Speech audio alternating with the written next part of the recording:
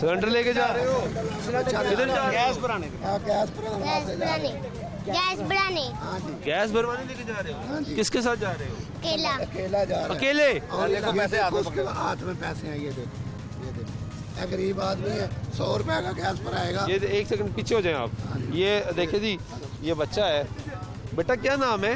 फिजान कितनी उम्र है आपकी? छः साल। छह साल। स्कूल जाते हो?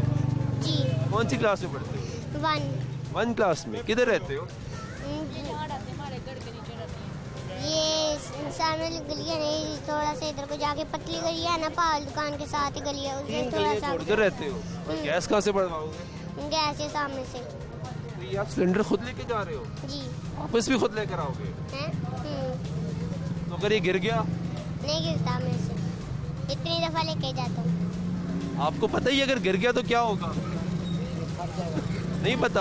पता है। क्या होगा? फट जाएगा। तो अगर फट गया तो क्या होगा? चोट लग जाएगी। आप पे घर में बड़ा कोई नहीं है? नहीं। कोई बड़ा नहीं है? नहीं। घर में कौन कौन रहता है? पापा मम्मा और मैं और मेरा छोटा भाई और मेरी बहन। छोटी। सबसे पापा किधर है? पापा काम पे गए हैं? काम पे गए हैं? जी।